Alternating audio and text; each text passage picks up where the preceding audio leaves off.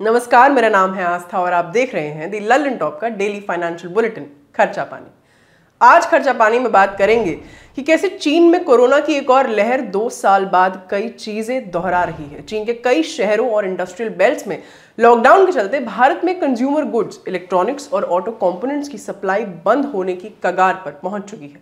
कई कंपनियों ने कहा है कि अप्रैल से वे अपना उत्पादन घटाएँगी। ऐसे में आशंका जताई जा रही है कि मोबाइल, लैपटॉप, माइक्रोवेव अवन से लेकर गाड़ियों तक की कीमतें बढ़ सकती हैं। हम जानेंगे कि ये सप्लाई क्रंच गंभीर हुआ तो इंडस्ट्री से लेकर हमारी आपकी शॉपिंग पर क्या असर पड़ेगा।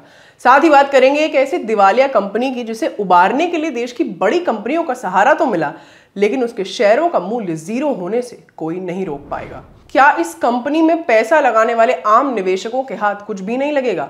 इन सभी सवालों पर बात करने के लिए आज हमारे साथ होंगे फाइनेंशियल एक्सपर्ट शरद कोहली। लेकिन सबसे पहले आज की आर्थिक सुर्खी।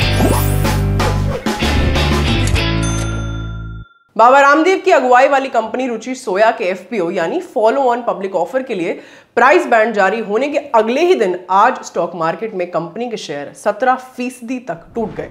मौजूदा कीमतों पर 35 फ़ीसदी डिस्काउंट देते हुए रविवार को रुचि सोया के एफपीओ का प्राइस बैंड 615 से साढ़े छह रुपए तक किया गया था।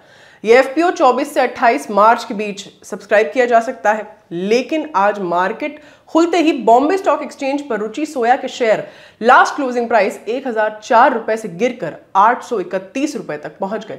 हालाँकि बाद में इनमें रिकवरी आई। गौरतलब है कि यही वो कंपनी है जिसके शेयर खरीदने की सलाह बाबा रामदेव ने अपने एक योग सत्र के दौरान दे डाली थी। इसके लिए सेबी ने उनके खिलाफ कार्रवाई भी की थी। पिछले अक्टूबर में बाबा रामदेव पिछले साल ने एक योग सत्र के दौरान अपने फॉलोअर्स से कहा था कि आप लोग जल्दी से डीमैट अकाउंट खुलवाएँ और रुचि सोया के शेयरों में पैसा लगाएँ। आप करोड़पति बन जाएँगे। इस बात की मेरी पूरी गारंटी है। इसके बाद सेबी ने नियमों के उल्लंघन के लिए बाबा को कड़ी फटकार लगाई थी। सेबी का नियम है कि किसी कंपनी से जुड़ा कोई अधिकारी या व्यक्ति कंपनी के शेयर खरीदने के लिए पब्लिक में लुभावने बयान नहीं दे सकता। कोई व्यक्ति किसी कंपनी के शेयर खरीदने के लिए किसी को सलाह तभी दे सकता है जब वह फाइनेंशियल एडवाइजर के तौर पर सेबी में रजिस्टर्ड हो। दूसरी सुर्खी क्रिप्टो करेंसी में निवेश करने वालों को निराश करने वाली है। सरकार ने आज सफ़ाई दी है कि किसी क्रिप्टो असेट में हुए नुकसान को दूसरे क्रिप्टो असेट के अगेंस्ट सेट ऑफ़ नहीं किया जा सकता। लॉ सेट ऑफ़ करने का मतलब यह है कि जैसे हम शेयर मार्केट में निवेश करते हैं, किसी शेयर में फ़ायदा होता है, किसी में नुकसान इसी तरह किसी साल फ़ायदा होता है और किसी साल हम नुकसान में रहते हैं। ऐसे में इनकम टैक्स के मद्देनजर शॉर्ट टर्म या लॉन्ग टर्म कैपिटल गेन का कैलकुलेशन करते समय हमें ये छूट होती है कि एक शेयर में होते हुए नुकसान को दूसरे शेयर में हुई कमाई में एडजस्ट कर सके। यानी ऐसा करके हम अपनी टैक्सेबल इनकम घटा सकते हैं, लेकिन ये सुविधा क्रिप्टो करेंसी के मामले में नहीं मिलने वाली। केंद्रीय वित्त राज्य मंत्री पंकज चौधरी ने आज लोकसभा में यही जानकारी दी। इसके अलावा क्रिप्टो माइनिंग इंफ्रास्ट्रक्चर को कॉस्ट ऑफ़ एक्विजिशन की तर्ज पर इनकम टैक्स डिडक्शन नहीं मिल सकता। एक फरवरी को पेश बजट में वित्त मंत्री निर्मला सीतारमन ने कहा था कि किसी क्रिप्टो असेट या वर्चुअल डिजिटल असेट के ट्रांसफ़र से हुई इनकम पर 30 फ़ीसदी टैक्स लगेगा। इसके अलावा एक परसेंट टीडीएस लगाने की बात भी कही गई थी। अब आते हैं आज के बड़े मुद्दे पर। चीन के कुछ हिस्सों में लॉकडाउन से कंज्यूमर इलेक्ट्रॉनिक्स और ऑटो कंपोनेंट की सप्लाई ठप होने लगी है। इकोनॉमिक टाइम्स की रिपोर्ट कहती है कि ज़्यादातर कंज्यूमर गुड्स और ऑटो कंपनियाँ अगले महीने से उत्पादन घटाने या बंद करने की तैयारी कर रही हैं। चीन में एप्पल टोयोटा और फॉक्स ने अपना उत्पादन पहले ही बंद कर रखा है, जो कंपनियाँ चीन से फिनिश्ड गुड्स या बना बनाया माल मांगती हैं। उन्हें भी इन्वेंट्री किल्लत से जूझना पड़ सकता है। क्यों बने ऐसे हालात? और संकट जारी रहा। तो इसका हमारी ज़रूरतों और खर्चों पर क्या असर होगा? इसके बारे में हमने अपने एक्सपर्ट से बात की जानते हैं उन्होंने क्या कहा। परिपेक्ष इसका कुछ ऐसे जाता है कि जब कोरोना वायरस जब फैलना शुरू हुआ था और गलवान वैली का जब इंसिडेंट हुआ था ये मैं आपको 2020 की बात कर रहा हूँ। और उस समय आ, लोगों ने आपको याद होगा कि बाजारों में निकल निकल के चीनी सामान का बहिष्कार करना शुरू किया था। कि हम चीन का इस्तेमाल नहीं करेंगे, चीन के सामान का इस्तेमाल नहीं करेंगे, क्योंकि गलवान वैली का जो इंसिडेंट हुआ था, उससे सारा का सारा भारतवर्ष रुष था, बहुत रोष था कि चाइना ने ऐसी हरकत करी। और फिर उसके बाद कोरोना वायरस आया और ये सारा आत्मनिर्भर भारत अभियान का घोषणा की गई। एक नारा दिया गया प्रधानमंत्री जी द्वारा। बहुत अच्छा नारा है और आत्मनिर्भर होना तो मैं समझता हूँ व्यक्ति विशेष के लिए भी अच्छा होता है देश के लिए तो अच्छा है ही है। पर हमने देखा कि जब जिस समय ये आत्मनिर्भर भारत अभियान का नारा दिया गया उस समय हमारा चाइना से जो बायोलेटरल ट्रेड था जिसको बायोलेटरल कहते हैं जब आ, कितना आयात होता है कितना निर्यात होता है। जब हम दोनों को जोड़ लेते हैं तो उसको बायोलेटरल कहा जाता है कि कितना एक एक देश दूसरे देश को आपस में आदान प्रदान करता है। वो करीब पचहत्तर से अस्सी बिलियन डॉलर का था। और ये मैं कोई कटाक्ष नहीं कर रहा हूँ, पर मैं आपको बता रहा हूँ कि हमारा देश किस प्रकार चाइना के सामान पर निर्भर है, इतना सब होने के बाद भी। आज जब हम बात करते हैं तो हमारी चीन से जो पूरी बायोलेटरल ट्रेड है, वो 100 बिलियन डॉलर जा चुकी है 100 बिलियन डॉलर को पार कर चुकी है। तो ये जब है, जब हमने एक एक निर्णय लिया था, एक अपनी तरफ़ से एक रेजोल्यूशन बनाया था कि हम चीनी सामान का बहिष्कार करेंगे। आपको याद होगा दिवाली पे लाइटों की बात हो, पटाखों की बात हो, बहुत सारी चीज़ें थी। पर इसमें कड़वा सच ये है कि कुछ क्षेत्र ऐसे हैं जहाँ पर हम चीन पर पूरी तरह निर्भर हैं। और ये जिसका आपने ज़िक्र किया इलेक्ट्रॉनिक्स ये एक ऐसा क्षेत्र और कंपोनेंट्स ये एक ऐसा क्षेत्र है जिसपे हम बहुत ज़्यादा चाइना पर निर्भर है और निर्भरता किसी किसी आइटम पे तो 80 से 90 परसेंट तक भी है। तो 80 से 90 परसेंट का मतलब है कि अगर आप मान लीजिए मोबाइल फ़ोन बनाते हैं, भारत में जो असेंबल किए जाते हैं, बनते, कम है असेंबल होते हैं, उसके करीब 80 पचासी प्रतिशत किसी किसी मोबाइल फ़ोन में पचहत्तर परसेंट, कुल मिला के हम औसतन ले तो 80 परसेंट हमारी इलेक्ट्रॉनिक कंपोनेंट्स की निर्भरता है। और बहुत सारी चीज़ें तो आपने देखा होगा कि यहाँ पर जो हम फिनिश्ड प्रोडक्ट्स खरीदते हैं, जो बना बनाया सामान हम खरीदते हैं, बाज़ार से आप कोई इलेक्ट्रॉनिक सामान जाके खरीदते हैं तो वो बहुत लोग शायद नहीं जानते कि वो बना बनाया वहाँ से आता है और भारत की कंपनी उस पर खाली अपना एक ठप्पा लगा देती है। मतलब कुल मिला के वो असेंबल्ड आता है, यहाँ पर भारत की वो चाइना की कंपनी के साथ यही करार होता है कि आप हमें अनब्रांडेड ये देंगे और हम ब्रांड नेम अपना लगाएँगे। तो इसको देखते हुए परिस्थिति इस समय जो चीन में कोरोना वायरस का विस्फोट हो गया है, हालाँकि हमें एक बात ध्यान रखनी चाहिए कि हमें चीन से जो खबरें आती हैं, उन पर विश्वास करना, उन पर यकीन करना ये विश्वास करना नहीं कि कोरोना वायरस हुआ या नहीं हुआ हुआ तो ज़रूर है, क्योंकि वो तो वो तो पक्का है कि हुआ है। पर किस एक्सटेंट तक हुआ है, ये नंबर्स पर यकीन करना बहुत कठिन होता है। इस बात का जो हिस्ट्री है, वो इस बात का प्रमाण देती है। आप 2020 से देखें कि कितनी वहाँ पर मौतें हुई कितने लोगों में फैला इस बात पर बहुत ही कंट्रोवर्सी है। खैर एनी anyway, उसमें नहीं जाते। तो कुल मिला के देखें तो हम हांगकांग हो गया और जो इलेक्ट्रॉनिक्स का गढ़ है चाइना में जिसको हम शेंजेन कहते हैं वहाँ पर जहाँ से ज़्यादातर भारत में इंपोर्ट किया जाता है इलेक्ट्रॉनिक का सामान कंपोनेंट्स पुर्जे कह लीजिए आप और बहुत सारा बना बनाया सामान जो जो बिल्कुल रेडी टू सेल सामान होता है।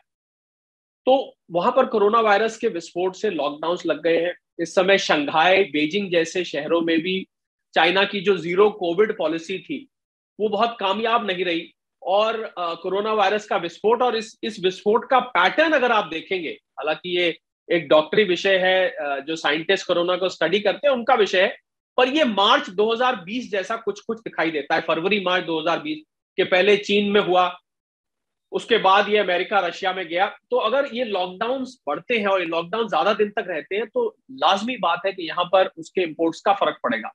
दूसरी बात इसमें समझने वाली है कि भारतीय इंपोर्टर्स जो इलेक्ट्रॉनिक कंपोनेंट्स और बाकी सामान चीन से इंपोर्ट करते हैं, उनको इस बात की जानकारी है पहले से ही कि चाइना से कभी भी डिसरप्शन हो सकता है।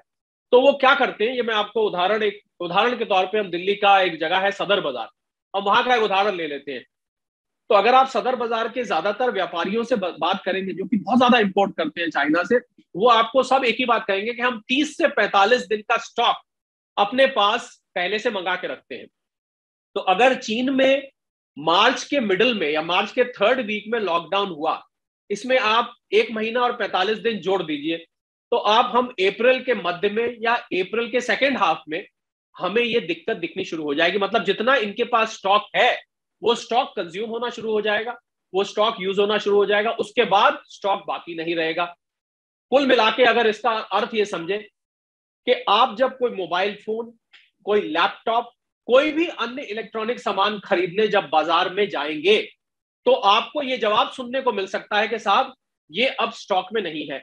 अब आपको ये चीज़ें ऐसी होती है कि गिफ्ट वगैरह दी जाती है, वो अलग बात है। पर जब ये ज़रूरत बन जाती है, आपकी जब ये जब आपके पास, आपका लैपटॉप खराब हो गया, आपको नया लैपटॉप लेना है, आपका मोबाइल फ़ोन खराब हो गया है, चोरी हो गया, कुछ भी हुआ है, आप बदलना चाहते हैं, ज़रूरी बदलना चाहते हैं तो ये चीज़ें बिल्कुल खान पान के सामान की तरह एक ज़रूरत बन जाती है। उस समय आपको ये जवाब सुनने को मिलेगा कि अभी नहीं है, या इस पे लोग फिर ब्लैक करना शुरू कर देते हैं, इसकी कीमतें एकदम बढ़ जाती हैं, जो जिसके पास स्टॉक होता है, वो उस पर ज़्यादा से ज़्यादा कीमत वसूलने की कोशिश करता है। तो मुझे लग रहा है कि जो लोगों ने इलेक्ट्रॉनिक का सामान लेना है, इस खबर को सुनने के बाद मुझे नहीं पता लल्लन टॉप के कितने फॉलोअर्स और व्यूअर्स जिनको इलेक्ट्रॉनिक का सामान आने वाले एक दो हफ़्ते में खरीदना था। मुझे नहीं पता कितने लोग जाकर कल परसों ही शायद वो खरीद ले, पर अगर ये लाइन लगती है इलेक्ट्रॉनिक की दुकानों पर और बहुत सारी दुकानों पर आप सुन रहे थे, और अगर आप चीन की बात करें तो चीन में उदाहरण के तौर पर हम एप्पल के फोन्स लेते हैं, जो कि सबसे प्रचलित मोबाइल फोन्स में आते हैं। उसको फॉक्सकॉन करके एक कंपनी है चाइना में, जिसको एप्पल ने ये मैन्युफैक्चरिंग आउटसोर्स की हुई है। फॉक्सकॉन के यूनिट्स रुक गए हैं, वहाँ काम नहीं चल रहा है, रोक दिए गए हैं कोविड टेस्टिंग के लिए और कोविड विस्फोट की वजह से। आप ऑटोमोबाइल्स लीजिए, जिसमें गाड़ियाँ आती हैं। गाड़ियाँ पहले ही हम देख रहे हैं कि पिछले दो साल से भी ज़्यादा जो सेमीकंडक्टर चिप्स हैं, जिसको हम स्मार्ट चिप्स कहते हैं, उसकी वजह से सिलिकॉन चिप भी कहते हैं। उसकी वजह से पहले ही गाड़ियों की बिक्री पे फ़र्क पड़ा है, क्योंकि गाड़ी का जो दिमाग होता है, जो सारा संचालन होता है, वो चिप के ज़रिए होता है। उस चिप की शॉर्टेज की वजह से कोरोना के दौरान जो शॉर्टेज आई, उस शॉर्टेज की वजह से गाड़ियों की डिलीवरी खासकर एस देखे तो लोग ये शिकायत कर रहे थे कि हमको डीलर ने कह दिया, छह महीने बाद लीजिएगा साहब, तीन महीने बाद लीजिएगा। वो गाड़ियाँ जिनके बेचने के लिए डीलर्स मारे मारे फिरते थे कि गाड़ी ले लो, गाड़ी जाके आपको फट मिल जाती थी। आपको तुरंत फाइनेंस और अभी गाड़ी ले लीजिए। उन गाड़ी की छह छह महीने की वेटिंग ये स्मार्ट चिप्स की वजह से हमें देखने को मिली। तो फॉक्स वैगन ले लीजिए टोयोटा ले लीजिए, ये कुछ ऐसी कंपनीज़ हैं जिनके चाइना में बहुत बड़े मैन्युफैक्चरिंग बेसिस हैं। तो इस कोरोना वायरस के विस्फोट की वजह से ये यूनिट्स पर भी सीधा सीधा असर हुआ है। तो अगर आप इलेक्ट्रॉनिक्स लीजिए ऑटो कंपोनेंट्स लीजिए उनकी समस्या के लिए मुझे लग रहा है हमें कमर कस के तैयार हो जाना चाहिए।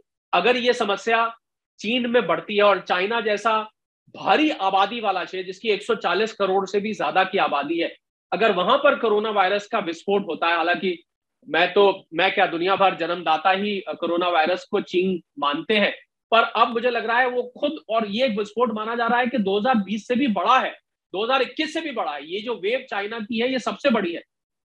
तो अगर ये वहाँ फैलता है तो चाइना बहुत सख्ती करेगा चीन की इकोनॉमी पर, चीन की अर्थव्यवस्था पर, इसका सीधा सीधा असर होगा वहाँ की मैन्युफैक्चरिंग वहाँ का एक्सपोर्ट और क्योंकि भारत का बायोलेटरल ट्रेड इस समय 100 बिलियन डॉलर से भी ज़्यादा का है तो ये तो हो ही नहीं सकता कि इंडिया पर इसका असर ना हो। तो हमें बिल्कुल तैयारी कर लेनी चाहिए। अगर किसी ने कोई ऐसा इलेक्ट्रॉनिक का सामान खरीदना है तो मेरी उनको सलाह ये है कि वो जाके एक आध दिन में ले ले।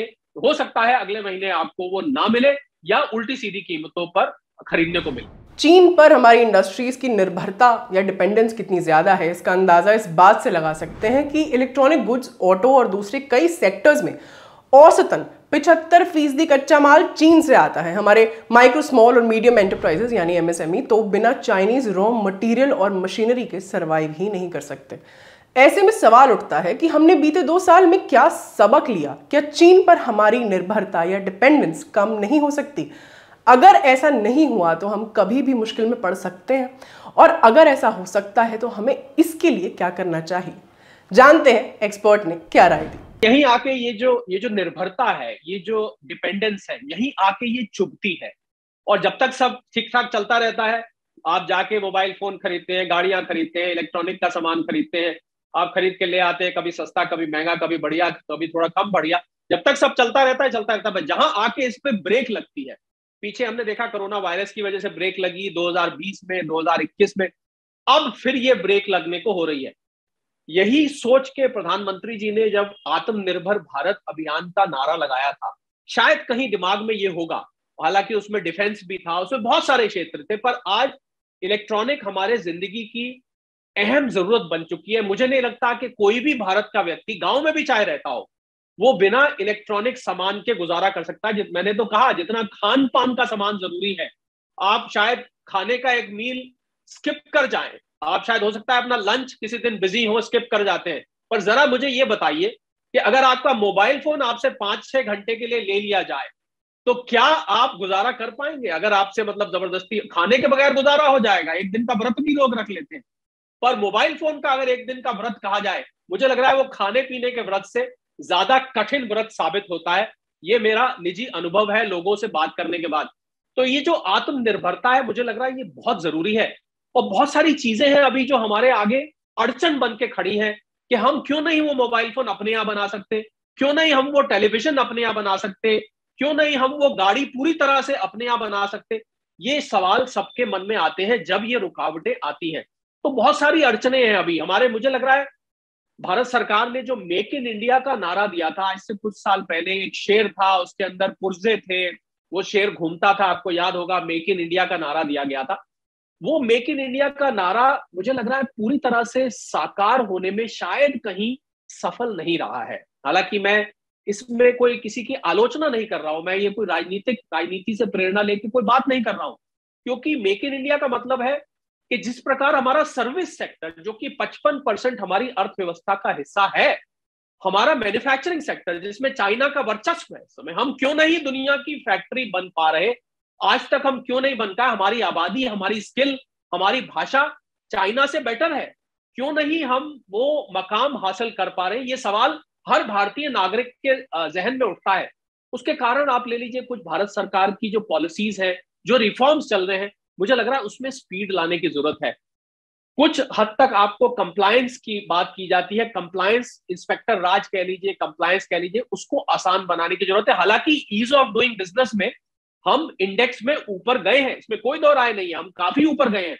पर अभी दिल्ली दूर है, कहावत है, यहाँ चांदनी चौक में इस्तेमाल की जाती थी, बहुत पुराने, अभी दिल्ली दूर है। तो दिल्ली दूर का अर्थ यह है कि अभी हम उस लक्ष्य से कुछ दूर है लेबर रिफॉर्म्स की ज़रूरत है लैंड रिफॉर्म्स की ज़रूरत है। आज आप कहीं फैक्ट्री लगाने जाइए, सस्ती दरों पे आपको ज़मीन चाहिए हो तो गाँव की ज़मीन सस्ती होती है। आप जरा वहाँ ज़मीन लेने की कोशिश करिए, आपको झंझट जो पैदा होते हैं चेंज ऑफ़ लैंड यूज़ हो गया, वहाँ पर बिजली पानी की व्यवस्था हो गई, या वहाँ पर कोई किसान एग्रीकल्चरल लैंड है तो किसानों का उसमें उसमें ऑपोजिशन आ जाती है कि साहब आप ये लैंड नहीं ले सकते। तो मुझे लग रहा है हमें लैंड रिफॉर्म्स की ज़रूरत है, हमें लेबर रिफॉर्म्स की ज़रूरत है, हमें टैक्सेशन सिस्टम को और सिंप्लीफाई करने की ज़रूरत है। अगर हम ये सब करते हैं, तब मुझे लगता है कि मेक इन इंडिया और दूसरा एक अहम बात जो मैं इसमें जोड़ना चाहूँगा कि हम स्टार्टअप्स की बात करते हैं, नवाचार जिसको कहा जाता है हिंदी में। और भारत इस समय दुनिया का तीसरा सबसे बड़ा स्टार्टअप इकोसिस्टम बन चुका है।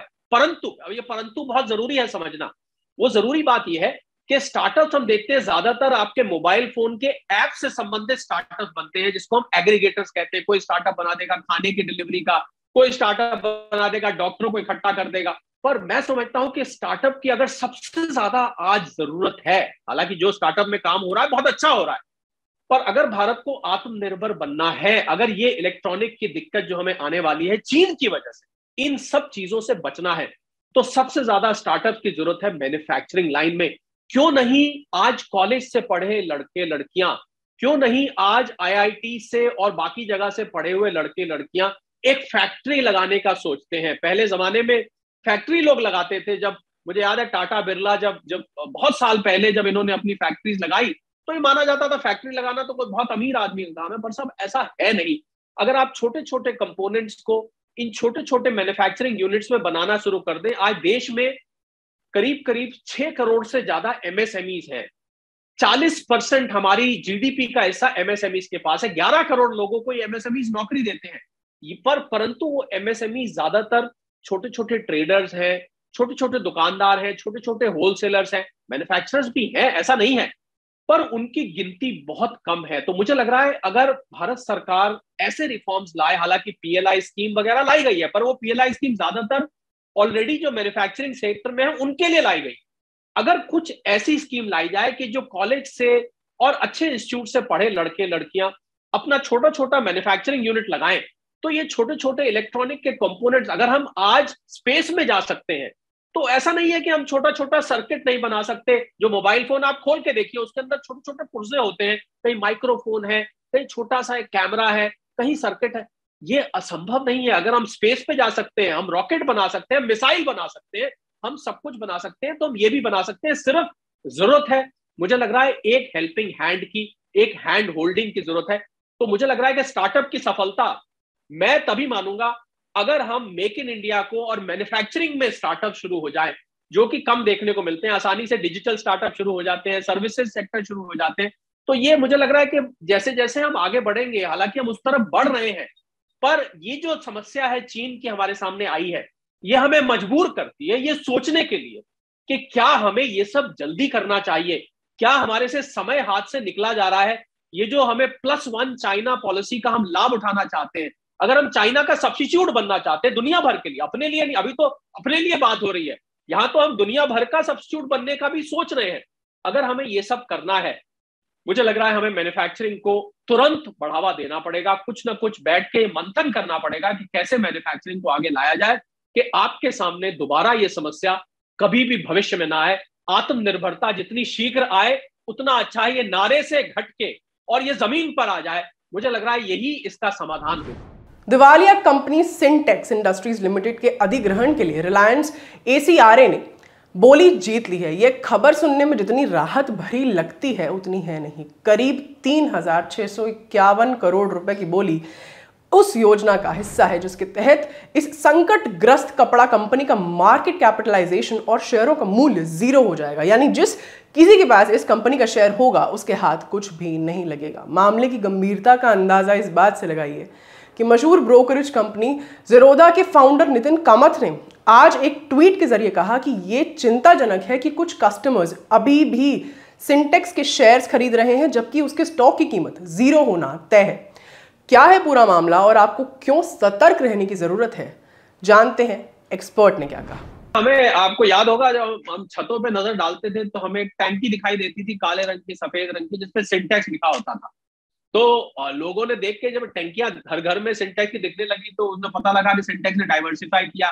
अब वो यान और फैब्रिक मैन्युफैक्चरिंग में भी आए सिंटेक्स इंडस्ट्रीज़ बन गया, खाली सिंटेक्स टैंक से हटके। बहुत जल्दी इस ग्रुप ने शुरू में ग्रो किया था। पर मुझे लग रहा है कहीं जाके आगे वो भटक गए और उनके ऊपर कर्जे चढ़ते गए, उनके मार्जिन कम होते गए डिमांड पे भी असर पड़ा। जब जब से उन्होंने खासकर ये यान और फैब्रिक का धंधा शुरू किया और करते करते ये हुआ कि वो कंपनी इनसॉल्वेंट घोषित हो गई। उसको नेशनल कंपनी लॉ ट्राइब्यूनल में एनसीएलटी अहमदाबाद में उसका इंसॉल्वेंसी फ़ाइल किया गया। जो लोग ललन टॉप के खर्चा पानी के जो डेडिकेटेड व्यूअर्स है, अगर वो नहीं जानते कि इंसॉल्वेंसी का अर्थ क्या होता है तो मतलब कंपनी अब बिल्कुल समझिए उसका दिवालिया निकल गया और उसको हवाले कर दिया कि साहब इसको बेचिए, कोई खरीद ले तो अच्छा है, जिससे कम से कम जो इसके कर्जे हैं, वो कर्जे निपटाए जा सके। जी हाँ रिलायंस और एसीआरई जिसको एसेट केयर रिकंस्ट्रक्शन एंटरप्राइज इन दो एक कंसोर्शियम है ऑल्टरनेट इन्वेस्टमेंट फंड्स होते हैं, उसका ये सपोर्ट किया हुआ एक कंसोर्शियम है। तो रिलायंस और इन दोनों ने मिलकर छत्तीस करोड़ की बोली लगाई। कुल चार बोलियाँ लगी, एक वेल्सपन ने लगाई, एक जीएचसीएल ने लगाई, एक हिम्मत सिंगा है जो कि राइस एक्सपोर्ट करते हैं, उन्होंने लगाई और एक रिलायंस एसीआर ने लगाई। तो सबसे ज़्यादा बोली जिसकी होती है, नियम तो यही होता है, उसी के दे दी जाती है। तो छत्तीस करोड़ की सबसे ऊँची बोली थी, अगली बोली बत्तीस करोड़ की थी। तो छत्तीस करोड़ में रिलायंस एसीआर को सिंटेक्स को बेच दिया गया। अब जब बेचा गया तो रिलायंस ने यह कहा, साहब, इसके शेयर्स क्योंकि शेयर मार्केट में ट्रेड होते थे, उन्होंने कहा, इसके शेयर्स तो हम खत्म कर देंगे, क्योंकि जब आप कंपनी के इंसॉल्वेंसी में उसको उठाते हैं तो ये आपकी मर्ज़ी होती है, आप क्या क्या उठाएँ? तो उन्होंने कहा कि, साहब शेयर्स इसके खत्म कर दीजिए, हम इसके सिर्फ़ एसेट्स लेंगे, जो हम पैसा देंगे, हम एसेट्स खरीद लेंगे, हम इसके शेयर्स नहीं खरीदेंगे। तो डील हुई एसेट्स की तो शेयर्स की वैल्यू ऐसा माना गया कि इसको ज़ीरो कर दिया गया तो शेयर्स की वैल्यू ज़ीरो होने से जिन लोगों के पास भी सिंटेक्स के शेयर्स हैं या कोई खरीदने की हिम्मत ना करे, इन दिनों में ये नॉर्मली क्या होता है कि जब किसी कंपनी का रिलायंस जैसी कंपनी से टेक ओवर हो रहा होता है तो लोग उसके शेयर खरीदने को भागते हैं। तो ये हम बल्कि सतर्क भी करना चाहेंगे, उसके शेयर खरीदे नहीं, क्योंकि डील सिर्फ़ एसेट्स की हुई है। शेयर जी हाँ बिल्कुल बदकिस्मती से शेयर ज़ीरो हो जाएगा। आपको पता होगा कि इक्विटी शेयर होल्डर्स रिजोल्यूशन में लास्ट होते हैं। पहले जो कर्जदार होते हैं, उनको पैसा दिया जाता है। फिर जो उसके वेंडर्स होते हैं जिनका पैसा बकाया होता है, उनको दिया जाता है। एक प्रायोरिटी लिस्ट बनाई जाती है ये पैसा किस किस को दिया जाएगा इस डूबती हुई कंपनी का। शेयर होल्डर्स बदकिस्मती से उसमें आखिर होते हैं कि कोई शेयर होल्डर मालिक समझे जाते हैं। आप इक्विटी जब होल्ड करते हैं तो आपके पास मालिकाना हक होता है उस कंपनी का। तो शेयर्स बिल्कुल ज़ीरो हो जाएँगे। बड़ा हमें खेद है उन लोगों के लिए जिनके पास सिंटेक्स के शेयर थे, क्योंकि उनका नुकसान इसमें होने वाला है। अगर आपको, मान लीजिए, आपके पास दस हज़ार के शेयर थे तो शायद उस शेयर्स की वैल्यू अब ज़ीरो हो जाए। तो ये सारा मा है और एक दफे ओवर हो जाएँगे एसेट्स तो ऐसा माना जा रहा है कि रिलायंस और एसीआर मिलके इसको रिवाइव करेंगे और इस कंपनी को दोबारा इसमें प्राण फूकने की कोशिश की जाएगी। इसको दोबारा से जीवित किया जाएगा, इसके एसेट्स को यूज़ करके अपने में इंटीग्रेट करके इसको चलाया जाएगा। और आप शायद बहुत कम लोग इस बात को जानते हैं कि रिलायंस निरंतर कोई ना कोई कंपनी दुनिया भर में भारत में खरीदने के लिए बाकायदा उनकी एक टीम बनी हुई है जो कि खरीदती है। और इस, इसी के साथ साथ भी यही खबर थी कि एक कंपनी है क्लोविया जो कि लाउंजरी बनाती है। साढ़े नौ सौ करोड़ में रिलायंस ने उसको खरीदा और साथ ही ये डील की भी खबर आई। तो देखिए रिलायंस ऐसा नहीं है कि मुनाफे वाली कंपनियों को खरीदता है। रिलायंस को जहाँ लगता है कि कुछ कंपनी में उनको स्ट्रेटेजिक फ़ायदा है और इसके एसेट्स काम आ सकते हैं तो घाटे वाली कंपनी को भी खरीदा जा सकता है। जी हाँ सिंटेक्स इंडस्ट्रीज़ का शेयर अब डीलिस्ट हो जाएगा और उसकी वैल्यू ज़ीरो हो जाएगी। तो जिन लोगों के पास है, वो इस बात के लिए बदकिस्मती से तैयार रहे। हमें खेद है इस बात का। और सलाह मेरी ये है आगे के लिए कि जब भी आप किसी कंपनी का शेयर खरीदे कि ये नौबत दोबारा ना आए, कहते हैं, दूध का जला छाछ को फूकता है। तो अगर कोई दूध का जला है इसमें जिसका नुकसान हुआ है तो हमारी उनको सलाह है, जब भी आप किसी कंपनी का शेयर खरीदें तो उसको एक फंडामेंटल एनालिसिस होता है। वो ज़रूर करें। और कहा सुनी में शेयर मत खरीदे? मतलब किसी ने कहा, भैया, ले लो ले लो, ये खबर आई है। अफवाह बहुत उड़ती है शेयर मार्केट में कॉर्पोरेट सर्कल्स में। अफवाहों के बेसिस पे शेयर ना खरीदे। फंडामेंटल एनालिसिस किसी जानकार की सलाह से उसकी बैलेंस शीट अगर आपने सिंटेक्स के जो शेयर होल्डर है, जिन्होंने खासकर हाल में खरीदा होगा, अगर उन्होंने उसकी बैलेंस शीट स्टडी करी होती तो शायद वो शेयर ना खरीदते। इसी को फंडामेंटल एनालिसिस कहते हैं।